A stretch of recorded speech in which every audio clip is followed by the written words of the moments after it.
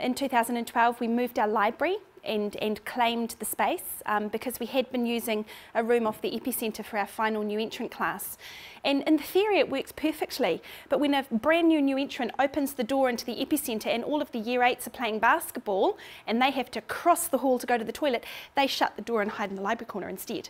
Um, and, and that just doesn't work. So we, we problem solved how we could have better learning experiences for our children and came up with the idea of relocating our library. As a school, we had to think really carefully about how we were communicating with our parents. Right across the school, our teachers work in collaborations of either two, three or four, depending on the age of their children. Um, and we have all of our year one and twos down in the epicentre.